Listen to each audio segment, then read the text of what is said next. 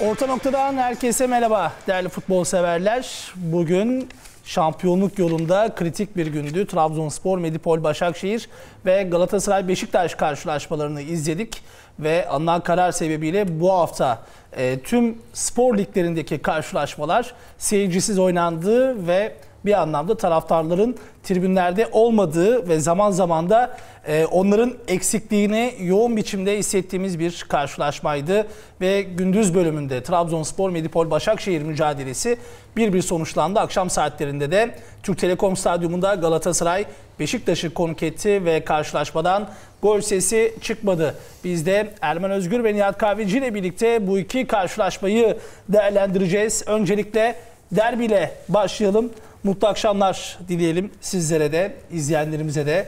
Nasıl bir karşılaşma oldu? Kısaca özetlemek gerekirse neresinden bakarsınız? Çok tatsız derbiler seyrettik biz değil mi? Hani tabii. işin yorumculuk kısmına geçince üzülüyorsun tabii böyle derbilere ama ilk defa futbolcuların da teknik direktörlerin de e, yani sahaya çıkan herkesin de çok haklı bir bahanesi olduğu bir akşam. Fakat Diğer taraftan da işin gerçekleri var. E, profesyonel oyuncular her şartta özellikle devletin aldığı karara da oynayın diyorsa oynamak zorundasınız. Şampiyonluğu direkt etkileyecek bir maç. E, Beşiktaş tarafında alınan sonuç büyük bir kayıp gibi değil.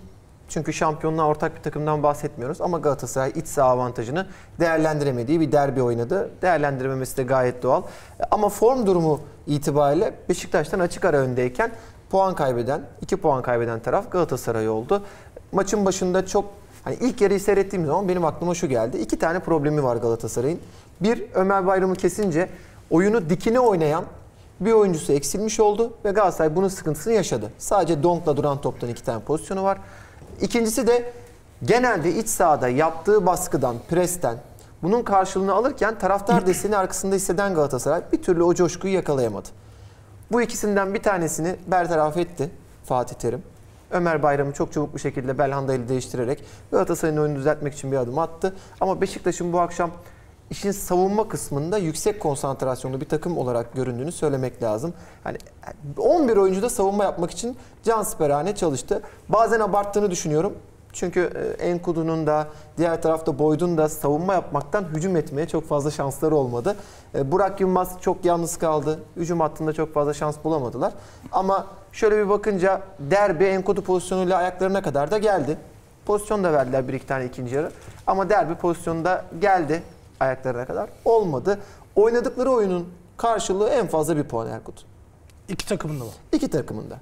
Yani bu akşam oynadığı oyunla galibiyeti hak eden bir takım var mıydı dersen hayır. Ama her gelen oyuncu da hastalık meselesinden bahsettiği için sanırım kafalarının derbide olmayışını da mazur görmek lazım. Nihat Kahveci evet. nasıl bakarsın? Yani tabii bir anlamda seyircisiz bir karşılaşma.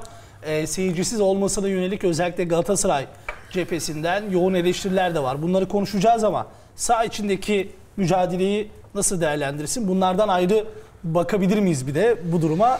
Orada direkt, ayrı bir parantez açmak lazım. Direkt sahanın içine girmek, direkt bu derbideki futbolu konuşmak hakikaten zor. Başka şeylerden bahsetmeden ki maç sonunda yapılan açıklamalara bakıldığında özellikle Galatasaray cephesinden, teknik direktöründen futbolcusuna, e, Beşiktaşlı oyuncuların olsun gündem başka. Buradan anlaşılan bu yapılan açıklamalar ki ülkemizde çok yabancı var. Özellikle bu iş şu an tabii Avrupa'da çok e, merkez olarak çok yayılmış durumda bir virüsten bahsediyoruz. Covid-19. E, futbolcuların konsantrasyonun bozuk olduğu net. E, ilk düşünceleri futbol değil. Bu net. Çünkü sahadaki isteğe, arzuya, oynama şekline baktığımda ben bunu gördüm. Zaten yapılan açıklamalarda bunu gösteriyor. Haklılar mı? Haklı tarafları var. Ama diğer taraftan Evet ülkemizdeki vakalar açıklanıyor. Bu konuda devletimiz elinden gelenleri yapıyor. Gerekli şeyler iptal ediliyor. Futbolda seyircisiz oynanılacak kararı verdi. Devletimizin kararıyla, federasyonun kararıyla. Profesyonellik diye de bir kavram var. Futbolcular da sahaya çıktığında tabii ki unutmak zor ama elinden geleni vermek zorunda. En iyi performansı göstermek zorunda. Çünkü baktığımızda Bak hak, hak da veriyorum ama diğer taraftan da bu ülkede de mecbur işlerine giden insanlar var. Mecbur kalabalıkta bulunan insanlar var meslekleri gereği. Mecbur yakın mesafede durmak zorunda insanlar var ki biz de bugün profesyonel bir şekilde geldik. Şu anki mesafemiz belki bir buçuk metre, iki metre değil yan yanayız. Risk altında olan çok insanlar var ama işini de yapmak zorunda insanlar var. Nasıl insanlar markete gidiyor bir şeyler alıyor. Neden alabiliyor? Çünkü o marketi açan bir çalışan var. Orada bize servis yapan birileri var. Onlar da yakın temasta. Hani ben yüzde yüz bu yüzden dolayı bugün kötü futbol oynandı, zevksiz derbi izledik demek yanlış olur diye düşünüyorum. Ama diğer taraftan da hak veriyorum. Herkes tedirgin mi? Tedirgin. Dünya belki özellikle bizim yaşadığımız çağlarda son 40-50 sene diyelim ilk defa bir konu üzerinde bu kadar konuşup düşünüp istişare ediyordur etkilenmeyen bir kesim yok dünya üzerinde. Hani benim ülkemde bu virüs yok deyip o ülkede bile konuşulan bir konu. Dünyanın gündemi bu. Bu etkiler. Ama bu senin yapmış olduğun yanlışları da kapatman için net bir sebep olmamalı dediğim gibi. Çünkü bir profesyonellik var, mecbur çalışmak zorunda olan insanlar var ve televizyonları başında da oturup öyle ya da böyle o futbolcunun sahada iyi oynadığını bekleyen, onunla az da olsa bugünümüzde mutlu olabilecek insanlar var. Ama oynanan futbol belki son zamanların derbilerde gördüğümüz en zevksiz, en heyecansız, en isteksiz futbolun oynadığını bir futbol izledik. Baktığımızda Beşiktaş herkes Galatasaray şampiyon olmak istiyor, kazanmak istiyor. Evet. %100 haklı çünkü kendi sahasında oynuyor. Seyircisi oynamasına rağmen yine de kendi sahasıdır. Avantajı vardır. Çok formda geldi. Beklentiler çok yüksekti Galatasaray'dan. Özellikle Sivas maçına berabere kalmasına rağmen iyi bir futbol oynamış Galatasaray'dan bahsediyoruz. Diğer taraftan Beşiktaş ya biz yenilmedik bir puan aldık diyecek durumda değil. Bugün ligden kopuyorsun. Onlar da çünkü kazanmak zorunda olduğu bir maça çıktı. İki takım da kazanmak zorunda çıktığı maçta istediği performansı gösteremediler.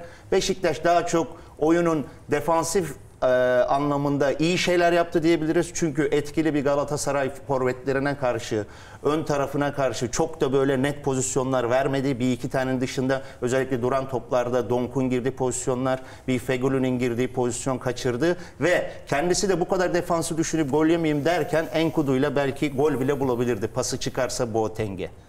Hani böyle bir maç oldu. E, bunların detaylarına zaten sonradan da gireriz.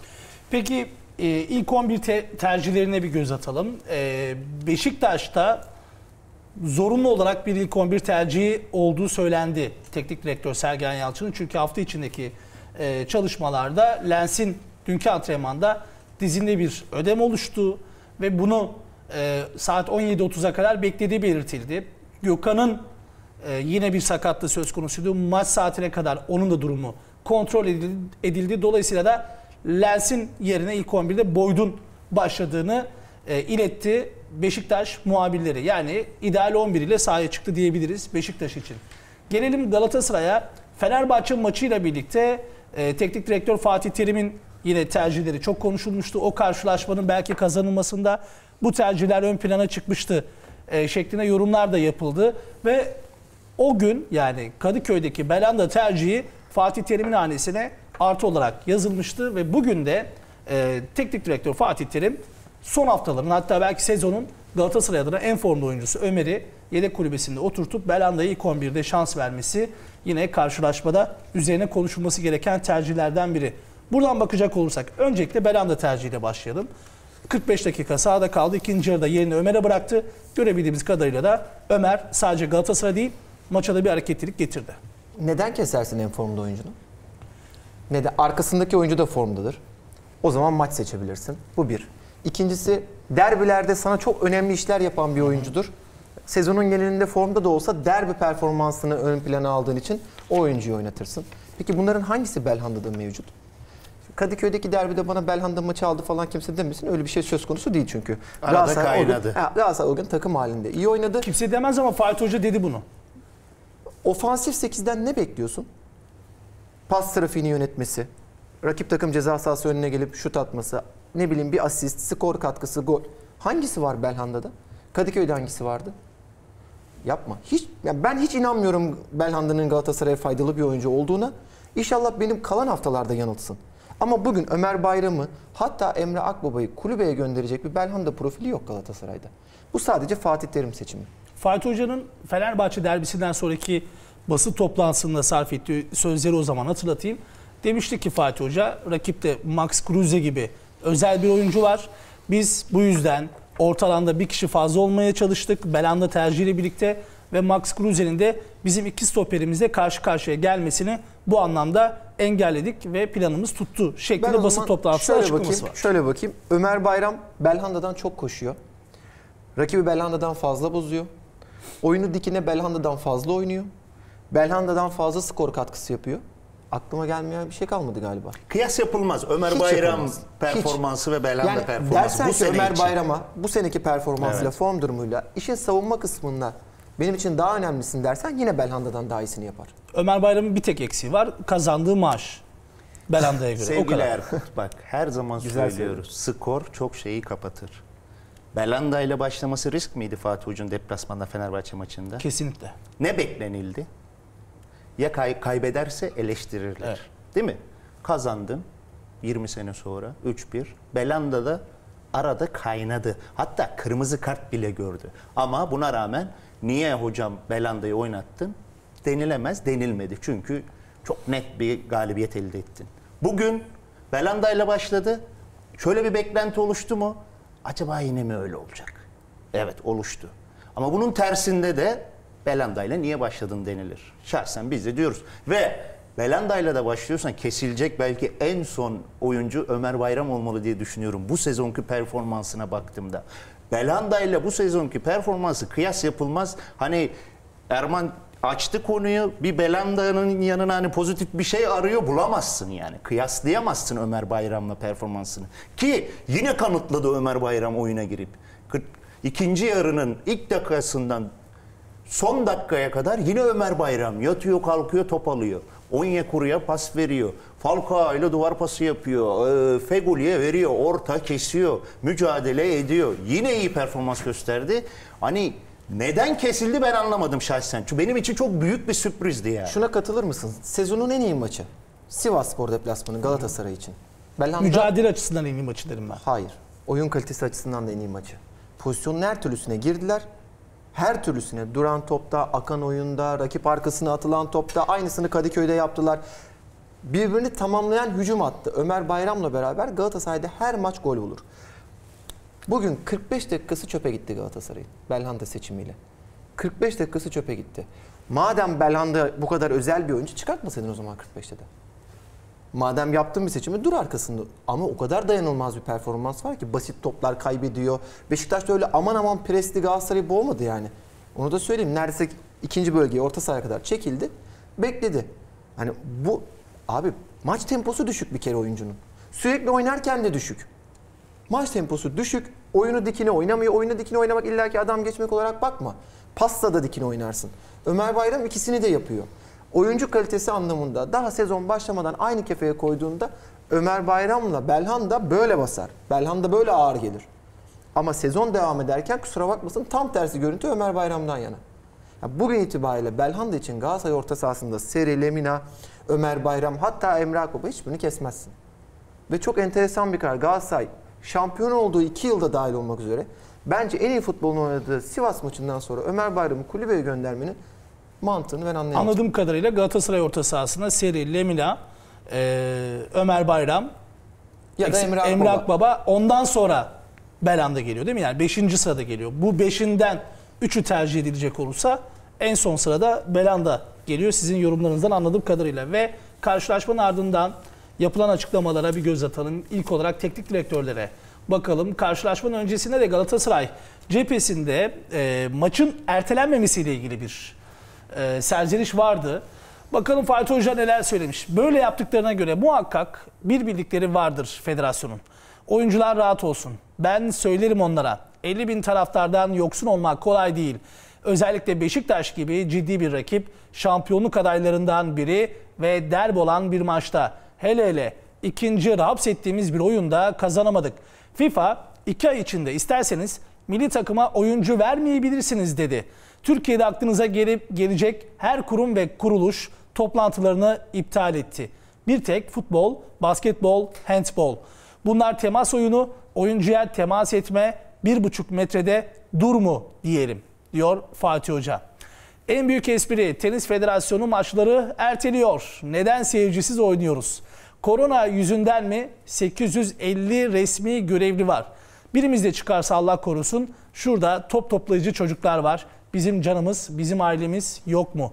Hiç mi Allah'tan korkmuyorsunuz? Salı günü UEFA'nın bir toplantısı var. Bakın toplantıya Futbolcular Birliği çağrılıyor mu?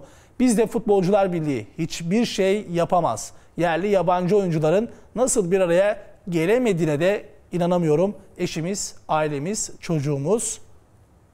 Üzülüyorum buna ben. İşin aktörü oyuncular, hocalar, hakemler.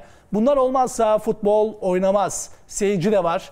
Bu dört aktör olmazsa olmaz. Bunların hiçbirine sorulmuyor. Herkes söyleniyor, kimse söylemiyor. Ben söylüyorum diyor Fatih Terim. E, Sergen Yalçın'dan önce Fatih Hoca'nın sözlerini bir değerlendirelim stüdyoda. Ne dersiniz? Maçın ertelenmemesiyle ilgili. Bu arada e, Perşembeden önce yani Galatasaray Kulübü Başkanı e, Mustafa Cengiz'in şöyle bir sözleri var. Hatta e, ma- maçların ertelenme ya da seyircisiz oynanma ihtimali soruluyor. E, Sayın Cengiz de şöyle hangi maçta yani bizim maç mı Galatasaray Beşiktaş maçı mı futbol maçı mı derken işte hayır diyor biz güvenli bir şekilde 52 bin kişiyi ağırlayabiliriz diyor. Sonrasında Cumhurbaşkanlığından böyle bir karar çıktıktan sonra da maçın ertelenmesi yönünde bir e, Sevgili- tavsiyede bulunuyor Galatasaray Kulübü. Sevgili Erkut Erman, ben size soruyorum. Buyurun. Bu kararı, maçlar seyircisiz oynansın kararını Türkiye Futbol Federasyonu kendi başına mı verdi? Hayır. Erman, Mümkün değil. Cumhurbaşkanından çıktı bu karar. konu kapandı. Konu kapandı. Ya biz şimdi bak öyle bir ülkenin öyle bir ülkenin insanlarıyız ki. de yani, okulların öyle tatil bir- olmasıyla beraber öyle de. bir öyle bir ülkenin insanlarıyız ki e, bizi devlet yönetiyor değil mi? Şu anki hükümet yaptıkları e, övülür. Kimi kesimler tarafından eleştirilebilir ama biz öyle bir nesiliz ki ülkeyiz ki devletimizin vermiş olduğu kararlara öyle ya da böyle sadık kalıyoruz. Kimi Evet mecburu da kalabilir kimi, düşüncesi o da olabilir, hiçbir şey diyemem. Ama geneline baktığında sadık kalınıyoruz. Böyle bir karar alındı değil mi? Oynanılacak ve seyircisiz oynanılacak. Bu ve bu ülkede de hakikaten belli başlı insanlar vardır. Görüşlerini zaten söylemelidir. Bunların en başından biri de zaten Fatih Hoca'dır. Fatih Hoca da görüşünü söylüyor. İnsanlar beğenir beğenmez. Ama herkes her görüşe saygı duymak zorunda. Ama bu kararı Türkiye Futbol Federasyonu kendi başına vermedi. Devletimizin büyükleri verdi. Bu ülkeyi yönetenler. Bak kaç tane kurul toplanıyor, kaç tane bakanlık, bilir kişiler, bu işin uzmanları, her şey istişare ediliyor. Her türlü risk göz önüne alınıyor ki her türlü riski göz önüne de alsan yine de ufak da bir risk var. Dünyanın her yerinde var. Ne yaparsan yap. Öyle bir vaka bu çünkü. Böyle bir karar verildi. Biraz önce de dediğimiz gibi mecbur çalışan da insanlar var. Bize de düşen bu karara saygı duyup uygulamak. Hani kimse ben kötü oynadım çünkü seyirci yoktu. Ben iyi oynadım seyirci yoktu rahattı mı giremez yani. Görüşünü söyler mi söyler saygı duyulur. Bu kararı hani Futbol Federasyonu'nun üzerine direkt atmak olmaz. Bu genel bütün kurulların vermiş olduğu bir karar yani. Ben dışarıdan öyle okuyorum. Saygı duymak lazım. Ben de bugün buraya gelip program yapmak istemez. Evimde oturup garanti bir şekilde ki her insan da bunu istiyordur öyle bir ortamda. Öyle ya da böyle bir risk var. Gözümüzün önünde, yakınımızda, sınırımızda ki riskleri görüyoruz. Kimse istemiyor biz de o günleri yaşayalım ki bu bazı kararlar da o yüzden veriliyor. Hani Galatasaray camiası şöyle bir şey ki bu maç seyircili bile oynanacaktı. Değil mi? Evet. Hazırız denildi. Çok güzel bak açıklamalar yapıldı değil mi? Hazırız denildi. 50 bin kişi gelebilir denildi. Her türlü önlem alındı. Bir risk yok gibisinden de açıklamalar yapıldı. Ama seyircisiz oynamaya başladıktan sonra bir 24 saatte bir bakış açısı değişti. Bence bunun sebebini tam net bir şekilde açıklarlarsa biz de ona göre yorum yapalım. Yoksa insanlarda hani seyirci yoksa kazanamıyorsuna girenler olabilir. Ya ülkemiz öyle bir ki her türlü görüş var yani her tarafa çekilebilir cımbızla Ne sözler. açıdan bir açıklama mesela? Peki bu o maç 24 neden saatte niye var? görüş değişti? Ligler ertelensine gelindi birden. Galatasaray'ın görüşünden bahsediyorsunuz.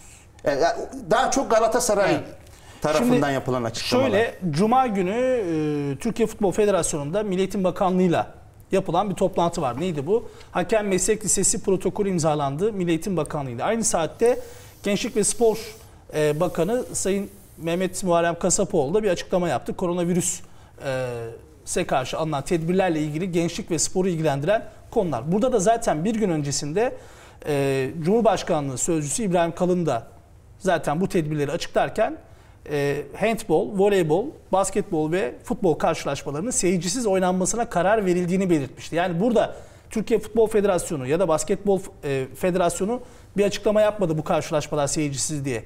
Bu arada şunu da söyleyelim.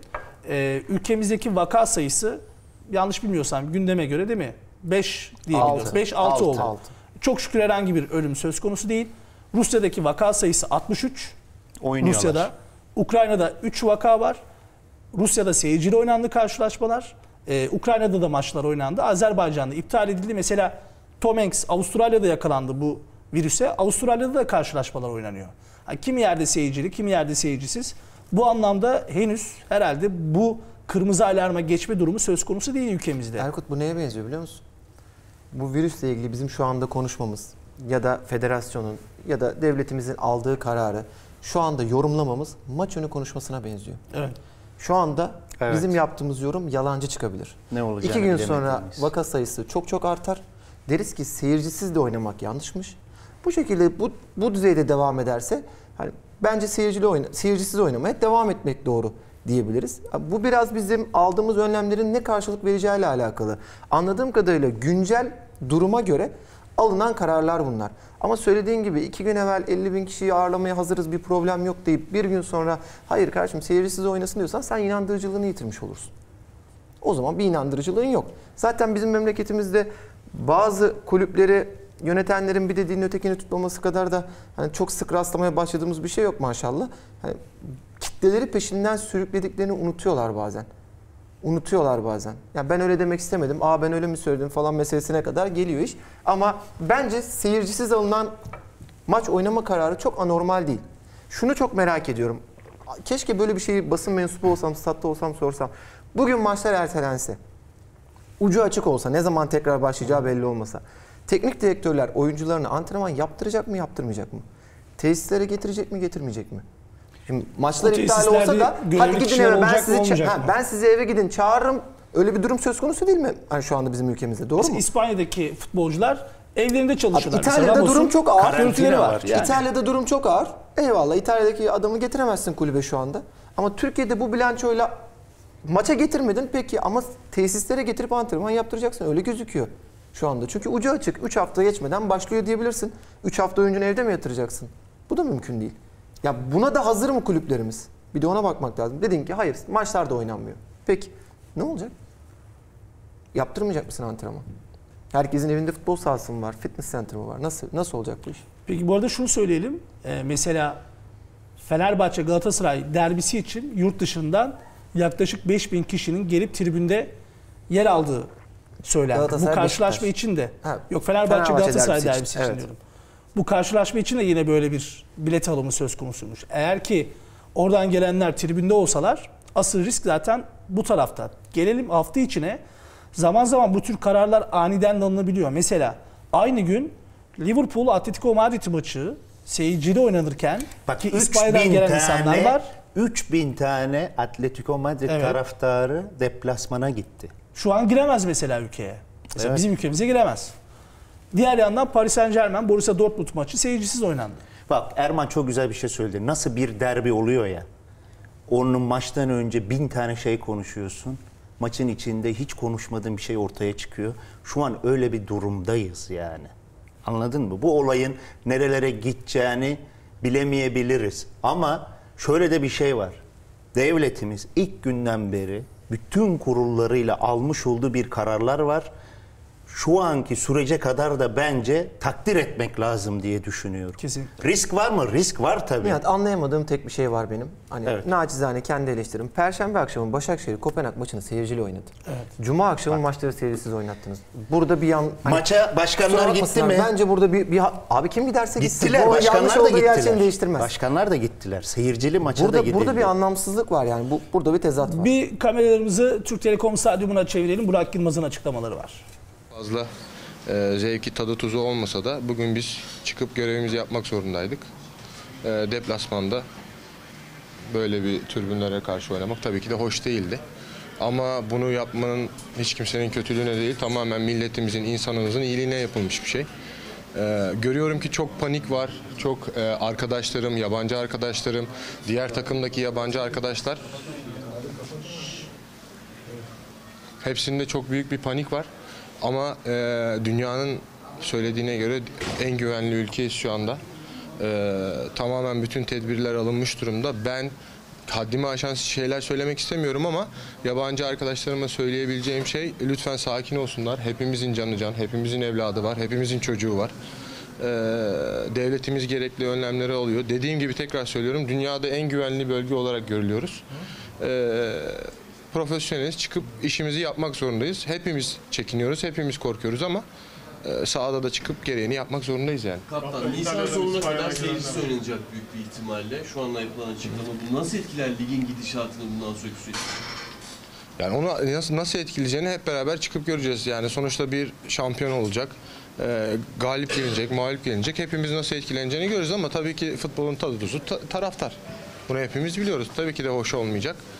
E, ama her şey insan sağlığı için. Kaptan kadroda İspanya'dan, İtalya'dan gelen takım arkadaşlarım var. Evet. Bunların bu Tedirginliği var. Hepsinin tedirginliği var. Hepsinin e, bir e, paniği var. Doğruyu söylemek gerekirse. E, biz de bütün hafta içinde onlarla birlikteydik. Onlarla konuştuk. Gerekli insanlarla konuşturduk doktor olarak. E, gerekli açıklamalar, gerekli e, her şey yapıldı onlara. Birazcık panikleri olduğu doğru. E, ama şimdi yabancı arkadaşlarımız da Nereye gitsin? Kendi ülkelerine mi gitsinler? E Nasıl olacak o zaman? Orada daha fazla... E Ya bence diyorlardır. Kesinlikle diyorlardır. Ama ben hiçbir şeye karşı bu konuşmayı yapmıyorum. Lütfen sakin olalım. Kendi insanımız da sakin olsun. Panik yapmayalım. Allah'ın izniyle inşallah bu da geçecek. E, Kendi hayatımıza döneceğiz. Teşekkür ederim abi. Sağ ol. Evet Burak Yılmaz'ın da açıklamaları bu yönde değerli izleyenler. Tabii biz şimdi böyle de konuşuyoruz ama Allah korusun bu hafta oynanan karşılaşmalarda bir oyuncuda bu virüs tespit edilmiş olsa bu sefer işler topyekinde farklı kararlar alınmaya doğru Peki gidebilir. bunu- NBA, La Liga, Peki maçta Premier Lig, maçta İtalya bu olduğunu oldu. maçta olduğunun da bir garantisi yok. Belki Tabii. şu anda var içimizde. Bunun herkes tarafından Bilemiyoruz hani yani. ortaya çıkmadığı da bir gerçek. Şu anda birimizde olup olmadığını da Tabii. bilemiyoruz. Atlatıp atlatmadığımızı da bilemiyoruz. Hani bu işte herkesin kendiyle alakalı bakımına, önlemine çok dikkat etmesi gerektiğini düşünüyorum. Hani bizim toplu halde alacağımız önlemlerden ziyade bireysel önlemlerimizin daha geçerli olacağına inanıyorum ben. Yani sanki biz de hani Avrupa insanına göre de epey hem devletin verdiği o tedbir kararlarını çok iyi uyguluyoruz. Zaten de kültürümüzde de var Bizim bu durum. kültürümüzde olan şey İşte diyorum kolonya, sana. sürekli Bize yıkama. devletin vermiş olduğu kararlara karşı saygı duymak diye bir şey var. Uygulamak var. Hakikaten bu konuda en örnek ülkelerden biriyiz biz. Bakın Avrupa'nın yaşadığı bu şey bazen böyle kararlar alındığında Avrupalı insanının aa bizim demokrasimizi engelliyorsun, özgürlüğümüzü engelliyorsun. Ben evde 10 gün durmam. Ben tek başıma niye evde durayım? Bu kafa yapısından dolayı bu virüs de yayıldı biraz. Ama yine diyorum ne yaparsak yapalım öyle da böyle risk var mı? Dünyanın en iyi önlemlerini alalım. O kadar enteresan bir virüsten bahsediyoruz ki her zaman ufacık da olsa bir risk var. O ufacık bir risk de sonrasında başka adımları getirebiliyor. Bununla ilgili net bir şey söyleyemeyiz ki bu işin uzmanları bile konuştuğunda, bu işin içine gelenler bile konuştuğunda aynen böyle konuşuyorlar. Kimse net bir şey söyleyemez. O kadar enteresan bir konu bu. Ya diyorum ya kararlar Şu anki aniden alınacak, değişebilir. bak, 24 saat risk içinde yönetimi değişebilir diye, o kararlar. Risk yönetimi diye bir şey vardır değil mi? Bu risk yönetimi birden birinci basamaktan 10. basamağa atlamakla olmuyor. Bunlar basamak basamaktır. Bak Avrupa'da olsun, Çin'de olsun bu virüsü yaşayan ülkenin uyguladığı her şey basamak basamaktı. Kimileri o ilk basamakları bile kullanmadığı için çok yayıldı ülkelerinde. O önlemleri de almadığı için. Ama yine söylüyorum yani benim görüşüm katılır mısınız bilmiyorum. Ben ülkeme baktığımda, verilen kararlara baktığımda, devletimizin almış olduğu kararlara baktığımda dediğin gibi şu an vaka sayısı 6. Dünyada belki en iyi ülkelerden biriyiz bu konuda. Mücadele konusunda, önlemler konusunda. Şu an şükrediyoruz ve bundan daha kötüsü olmasın diye de elimizden geleni yapıyoruz, dua ediyoruz. Onlar niye erteledi? Vaka sayıları 20 bin. Ölüm sayıları çok sayıları 500 olan var, 600 olan var. E, durmuyor. Yayılma durmuyor. Hani sen orada lig oynatsan hakikaten sen katil misin derler yani insana. Seyir, normal maçı oynasan teknik direktörlerinde var. Futbolcularında var. Hani oynamaması orada çok normal bir şey. Bizde de ertelenebilir miydi? Evet. Erteleseler kimse bir şey diyebilir miydi? Hayır. Diyemezdi. Ama böyle bir karar verildi. Demek ki biz riskin orasına değeriz diye bir karar verildi. Saygı duyduk. Biz de buraya geldik. Markette çalışan da gitti. Hastanede çalışan da işine gitti. Alışveriş merkezinde çalışan toplu insan olduğu kişiler de gitti. Dükkanını açtı. Mecbur işlerine gittiler. Çünkü böyle bir karar verildi diye. Ama başka gün başka bir karar alır devletimiz. Ona da uyulur. Herkes evinde de durabilir. İnşallah öyle olmaz. Ama dediğim gibi biz saygı duyuyoruz verilen karara. Şunu soruyorum sadece yani şu an bir futbol programında değil de arkadaşla konuşuyor gibi düşünelim. Şu anda ülkemizin böyle bir başarısı var mı? Bu e, tedbir açısından yani virüsün ülkeye girmemesi, vaka sayısının çok düşük Bence bunu tutulması. söylemek için erken. Ama şu aşamaya kadardan bahsediyorum. Şu aşamaya kadar var tabii. Bir başarı bence bu. Başarı. Bu aynı zamanda bir mesaj da ben, bana kalırsa yani bütün dünyaya. Yani burada bir başarının mesajını da iletmek gerekiyor bu anlamda. Bence bu karşılaşmaların oynatılmış olması da bu anlamda bir mesaj da olabilir. Hani bir başarı mesajıdır bana kalırsa. Yani neticede çünkü direkt olarak e, AVM'leri düşünelim hala açık. Mesela kapanan İsrail'de AVM'ler kapatıldı 15 gün boyunca. Oradaki güvenlik görevlisi da, bugünkü futbolculardan daha fazla insana temas ediyor. Ya da işte emniyet güçleri keza öyle. Hastaneleri düşünelim. Bugüne kadar oralar, oralardan da bir vaka çıkmadı. Yani ben e, şu ana kadarki yürütülen sürecin çok başarılı geçildiğini düşünüyorum açıkçası. Yarın akşam başka bir şey düşünebilirsin. Kesinlikle öyle. Değil mi? O yüzden ben Öyle bir ihtimal de var. Şu ana kadar bunları oynatıyoruz. Aldığımız tedbirler vaka sayısı üzerinden. Ama yarın başka bir hikaye olur. O zaman da başka bir önlem alınır. Yani inşallah kötü bir senaryo olmasın. Yani biz burada ne konuşsak boş şu anda. Hani dediğim gibi maç önünde suya yazı yazmak gibi konuşuyoruz burada. Ne profesörüz, ne doktoruz, ne devlet büyüğü de hiçbiri değiliz biz. Biz sadece olanlara bakıyoruz. Riskli değil gibi duruyor bizim için. Hakikaten ben etrafımda bu konuyla alakalı bilinçsiz insan görmüyorum. İşte bak bu çok güzel bir Çok şey. Bu da bir bizim şey başarımız. Her bireyin başarısıdır yani. Kurallara uymak, söylenileni yerine getirmek. Böyle de bir kural uygulandı. Seyir seyircisi oynanacak ama oynanacak. Futbol oynanacak denildi. Çıkıyorlar da oynuyorlar ellerinden geldiği kadar. Konsantre olanları var, olamayanları var. Hepsine de saygı duyuyorum. Kolay mı? Değil.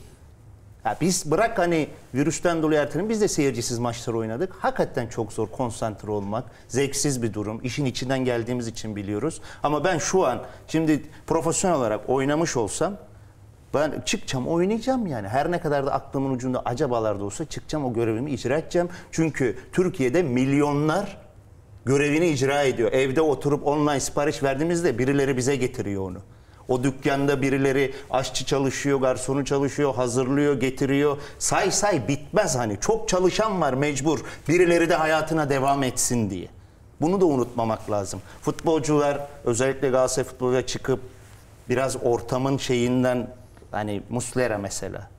Ya çok kişiliğine, karakterine saygı duyduğum bir insan ki söylediği de çoğu kimseler tarafından beğenilir edilir. Açıklamanın haklılık payı da vardır ama çok böyle biraz sert geldi bana açıklaması. Bakalım o zaman. Türkiye'desin. En dünyadaki şu an en güvenli ülkelerden birindesin yani. Şeyde de oynuyor olabilirlerdi bizim ülkemizdeki yabancı futbolcular. Şu an İtalya Ligi'nde oynuyor olabilirlerdi. İspanya'da oynayabilirlerdi.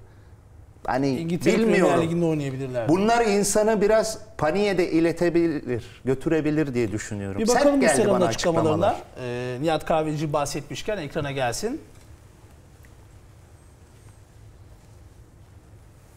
Fernando Muslera, utanç verici bir gece yaşadık. Futbolun konuşulacak bir durumu yok.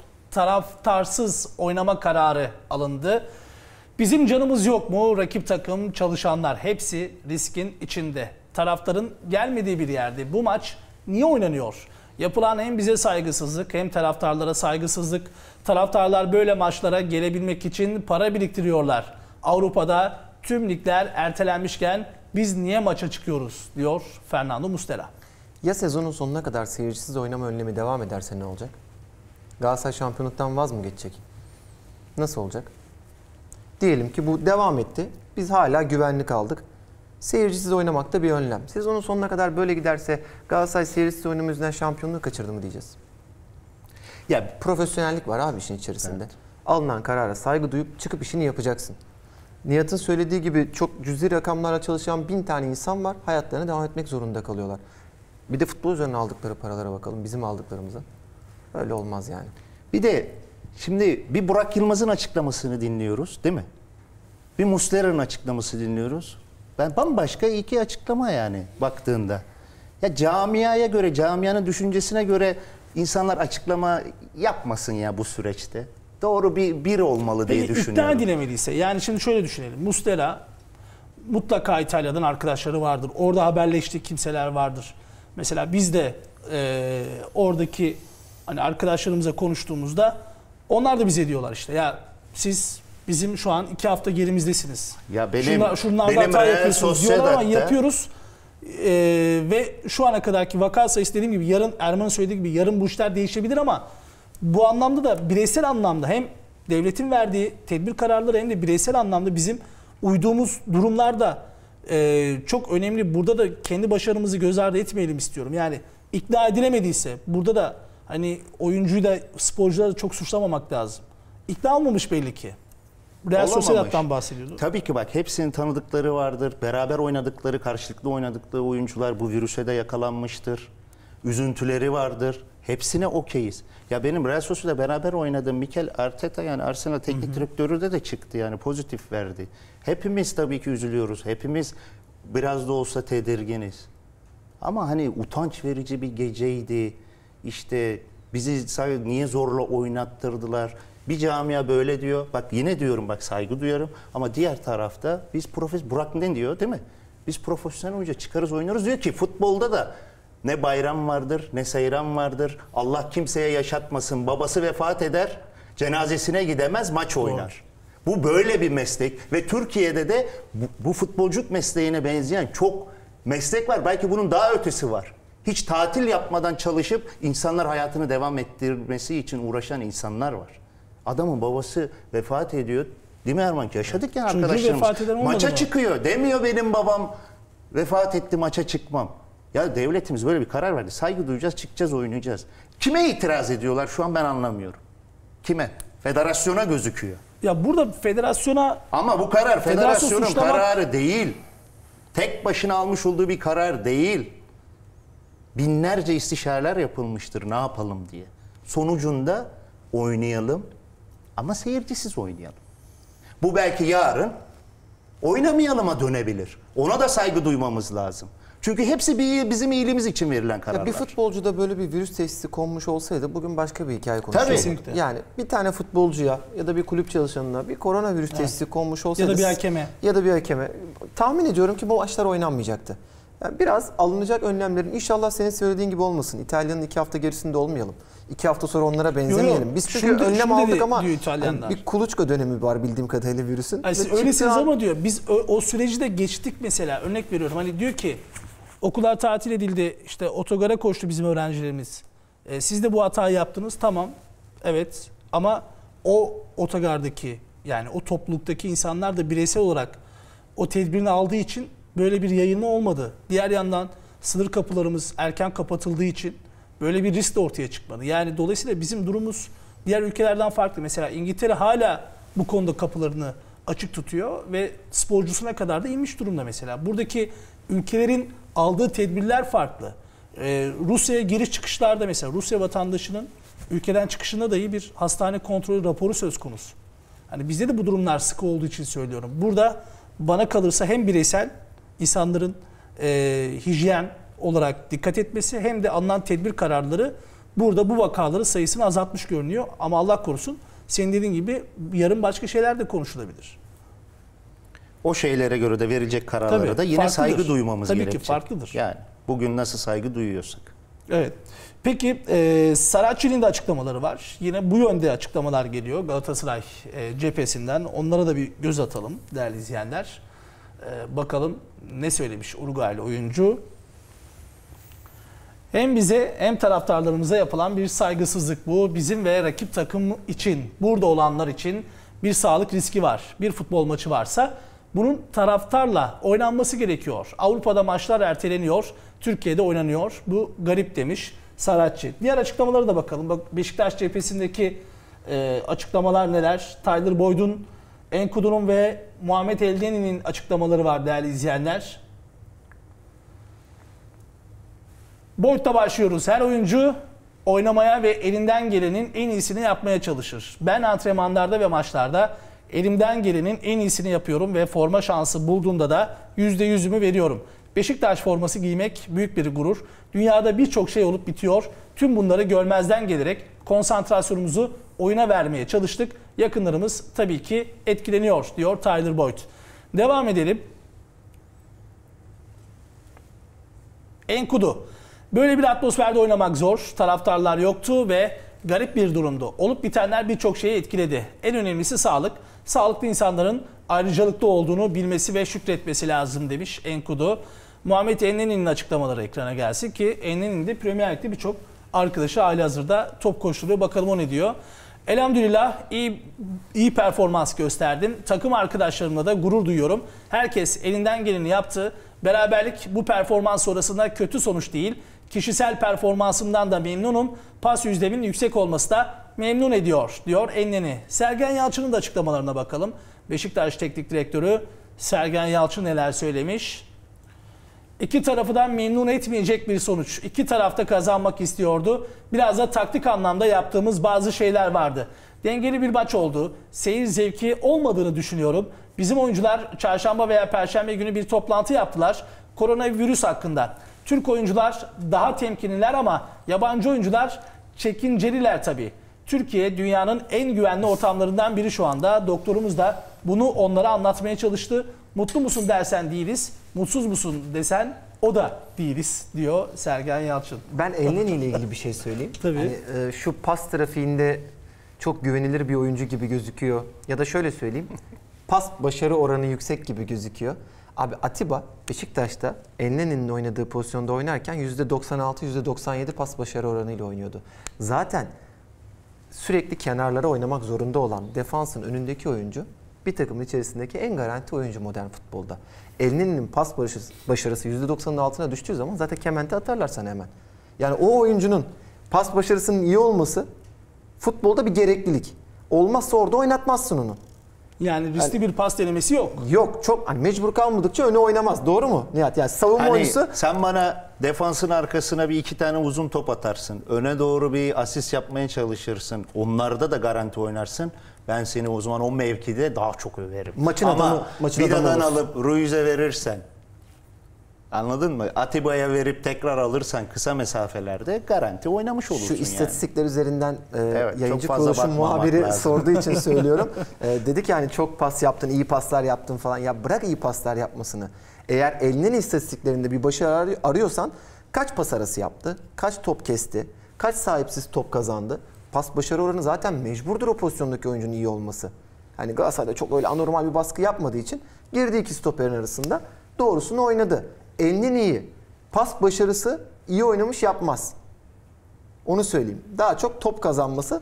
Büyük ihtimalle ama soru o kanaldan. Bence soracak bir şey bulamayınca anladın mı? İstatistik orada adamın gözüne geliyor. Diyor ki o %90 üstünde diyor. Hadi eline niye buradan yürüyelim diyor da. Böyle soru sormayın yanlış çünkü. insanlar yanlış yönlendiriliyor öyle olduğu zaman. Çünkü baktığında böyle performans olarak o elinin en iyi maçlarından biri oynadı diyecek bir durum yok, Yok, yani. hayır. Hani mesela şöyle bir durum olsa ya bugün 8 tane top kestin.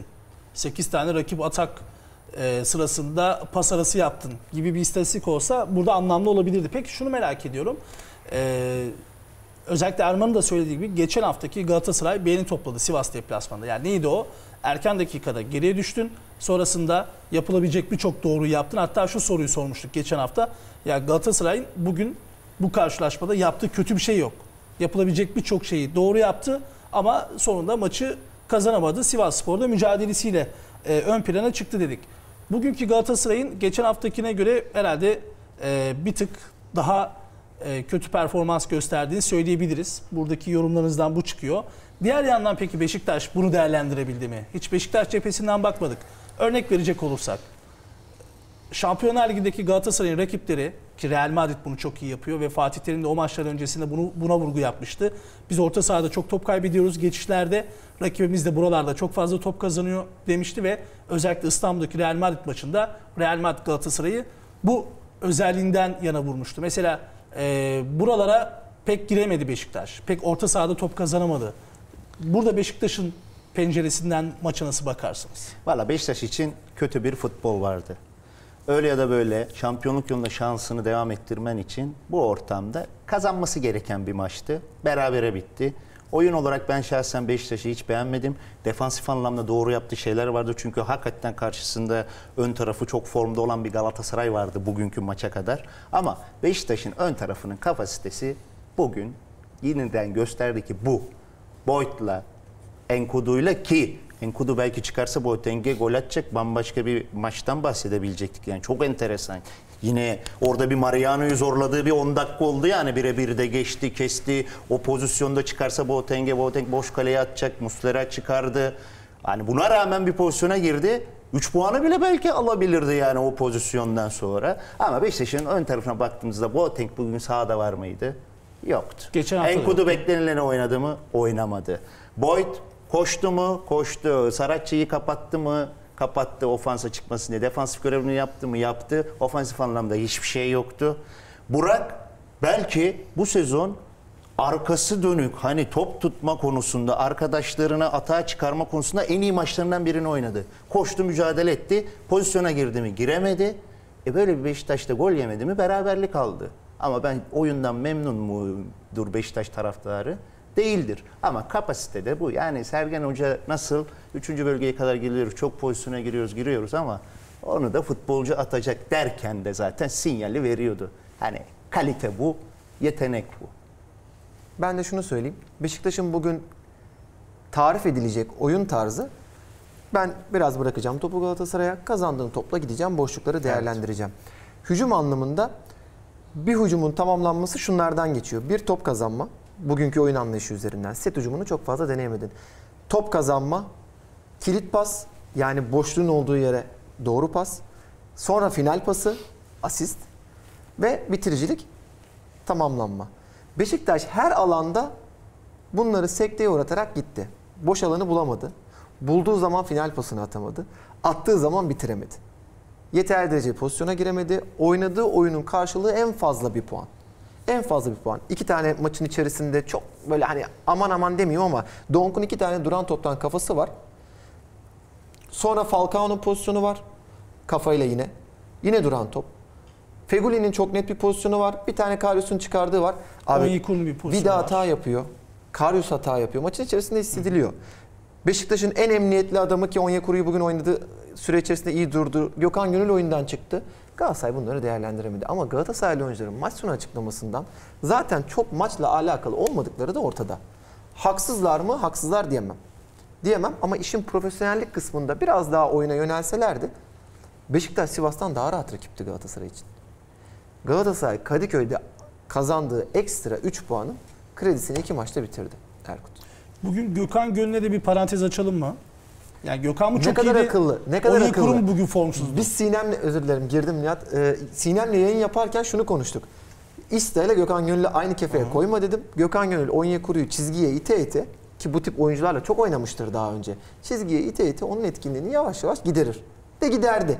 Çünkü biliyor oyuncuyu ne kadar mesafeden savunacağını, nereye yönlendireceğini, aldığı zaman basıp basmayacağını bunların hepsini biliyor. Gökhan Gönül Türkiye'deki en iyi Türk kanat oyuncusu. Hiç öyle kovalarken de görmedik değil mi Gökhan'ı? Çok Hiç akıllı. neredeyse. Hiç nefes nefese kaldı mı? Tabii ki Onyekuru da çok formda bu arada.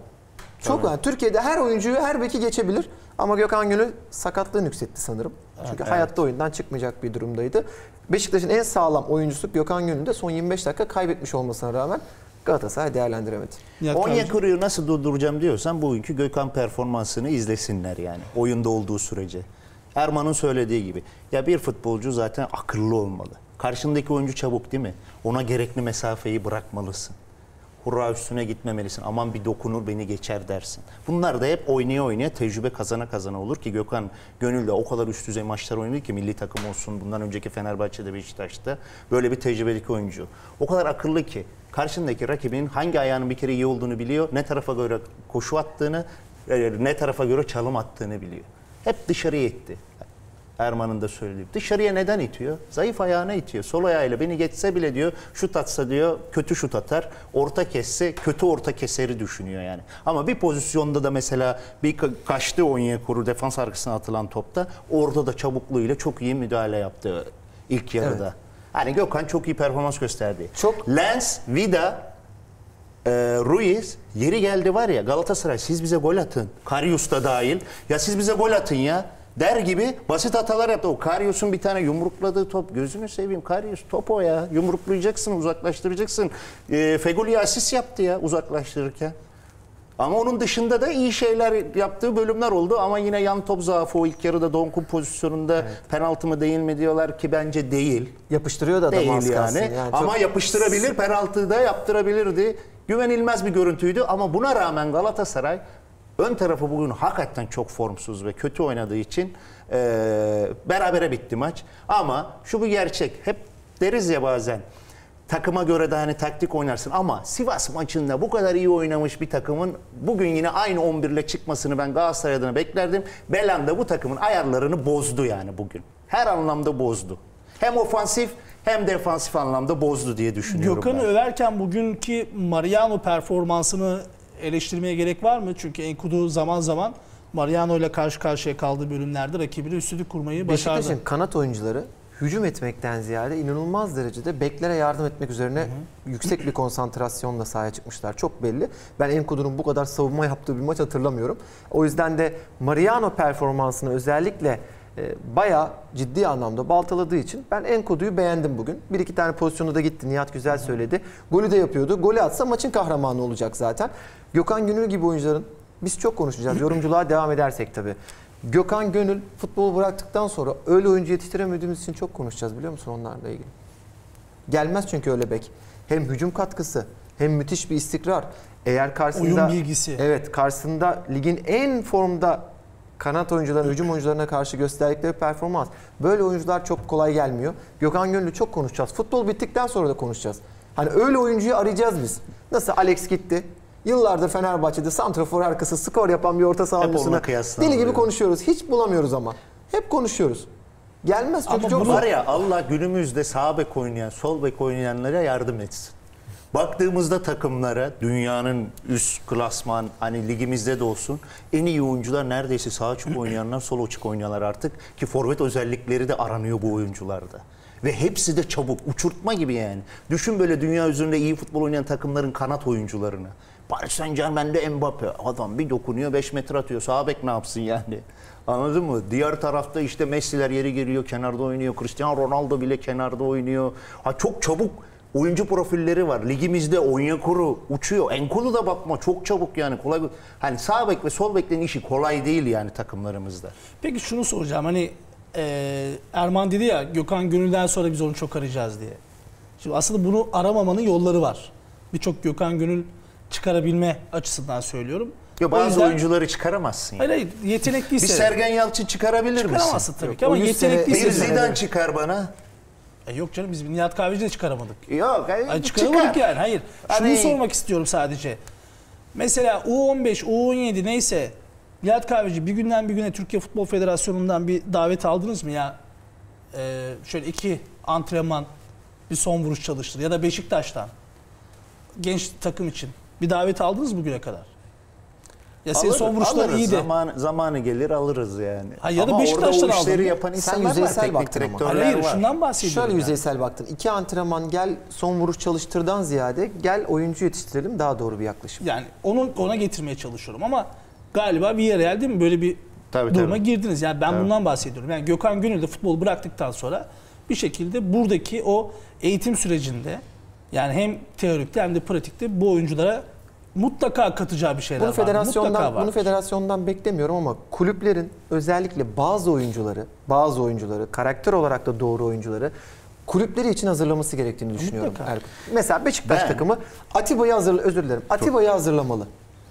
Hani bu kadar yabancı oyuncu sayısı baskınken hazırlamadı. Galatasaray nasıl Tafarel'i kullandı futboldan sonra? Bravo. Şimdi Muslera'yı Ligi'yi mesela bir ara Ligi'yi bir ara kullandı. Fenerbahçe takımı Alex'i niye kullanmıyor?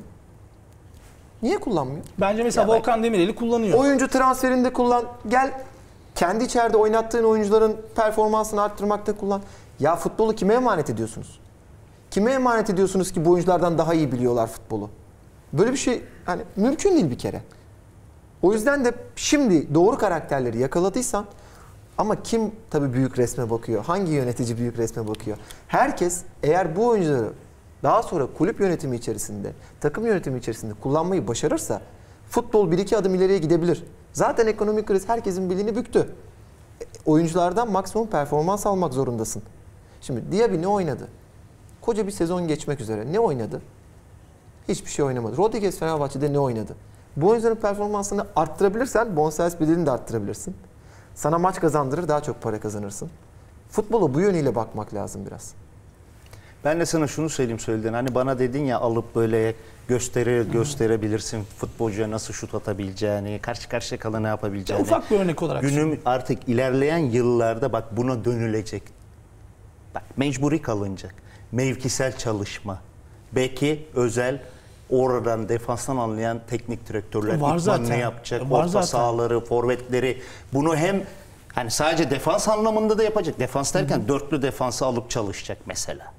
Ya da sol beki alacak senin nasıl durman gerektiği. Bireysele bile inecek bu iş. Çünkü o kadar artık ilerliyor Var zaten futbol. işte City'de, Arsenal'da, İşte saydığın yerlerde normal bütçe var çok yani iyi. bunlar, evet. Şimdi bazı teknik direktörlerde var bu arada. Mesela belli antrenmanların son bölümünü savunmayı ayrı, orta sahayı ayrı, hücumu ayrı çalıştırırlar ama Bireysele inecek. aslında doğrusu teknik direktörlerin bunu A takımlarda yapması değil. Altyapıdan Altyapılarda. gelen oyuncuya bunu Tabii. öğretmekte. Eğer bunu A takımdaki oyuncuya öğretiyorsan o bir utanç. Çünkü onu altyapıda öğrenmesi Ama yok gerekiyormuş, yine de becerememişsin. taktiksel anlamda da o bireysel e, grup antrenmanları var mesela işte Liverpool'un yardımcı hocası nasıl topu kısa sürede kazandıklarına dair yapılan antrenmanlarla ilgili mesela bilgi paylaşmıştı. Burada diyor ki biz James Milner'dan ilham aldık ve diğer iki orta saha oyuncularımızı da Milner'ın yapabildiklerini yapması için antre ettik diyor ve dolayısıyla da e, burada da sonuç almış oluyor. O yüzden hani e, ikinizin de söylediğini bu anlamda katılıyorum. Bunun devamı saha içinde de gelecektir. Kısa bir ara rica ediyoruz şimdi sizden. Sonrasında devam edeceğiz. Kalan haftalardaki şampiyonluk yarışına bir göz atacağız. E, zirvedeki takımların kalan maçlarını değerlendireceğiz. Aynı zamanda Trabzonspor, Başakşehir mücadelesini de yorumlayacağız.